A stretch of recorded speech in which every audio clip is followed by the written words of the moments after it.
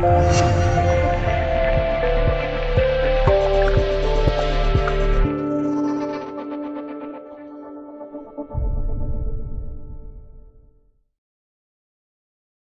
尼亚科瓦克雷吉茨科娃，美国纽约当地时间八月三十一日，二零一八赛季美国网球公开赛展开女双第二轮较量，头号种子西尼亚科瓦克雷吉茨科娃以六杠四六杠三完胜前赛会冠军马泰克萨法洛娃，强势挺进十六强。捷克组合开场势如破竹，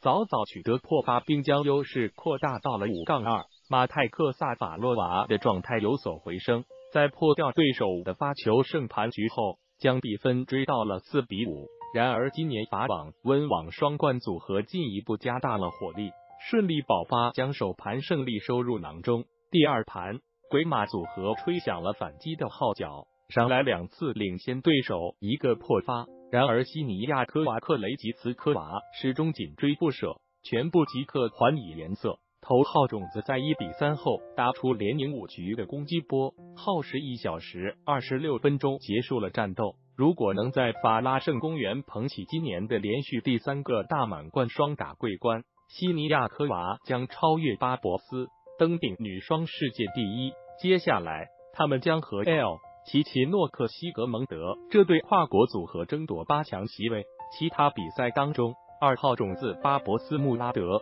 诺维奇六杠零六杠二血洗本土组合吉布斯桑塔玛利亚将静候阿扎伦卡詹永然和十四号种子阿塔沃格罗恩菲尔德之间的胜者谢舒威萨巴伦卡以六杠四七杠六五利克斯多拉斯托扬诺维奇将静候迪亚琴科加斯帕燕和七号种子梅尔滕斯舒尔斯之间的胜者。九号种子拉尔森博滕斯以六到七三四比六爆冷不敌黑马组合日比野菜绪卡拉舍尼科娃。十号种子杨昭轩詹浩晴则以七杠五二杠六六杠七五遭到另一对本土组合多勒西德麦克海尔逆转，遗憾止步次轮。